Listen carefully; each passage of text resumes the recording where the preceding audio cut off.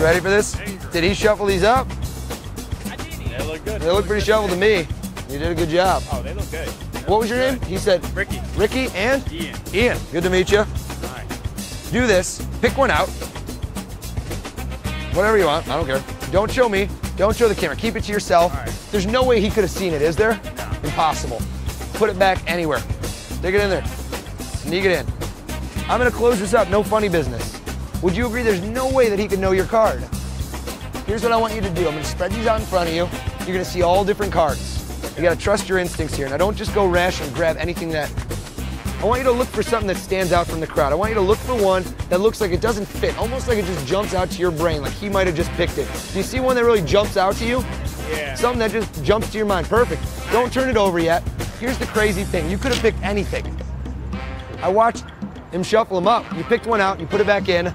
What card did you have in mind? Jack of clubs. Jack of clubs. Which one did you take out? Turn that over. Nice. Is this guy crazy? He's not revealing his secrets. Don't tell him how you did it, man. Don't tell him how you did it. He's that good. He's that good. He is that good.